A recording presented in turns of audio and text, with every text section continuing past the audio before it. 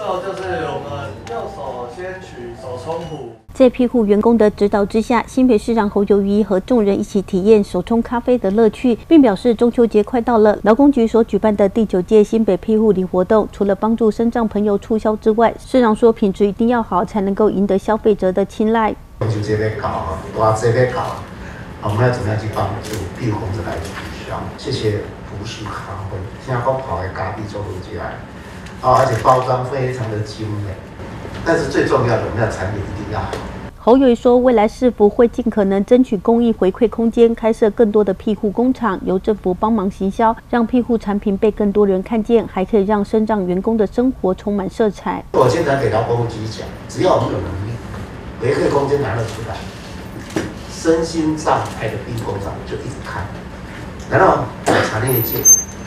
跟政府紧密结合在一起。来好好让他们的产品能够被看到，让他人生充满着色彩，也让他的家庭充满着和睦。所以用这样一个力量，大家能够凝聚，让这个社会充满着爱跟祥和。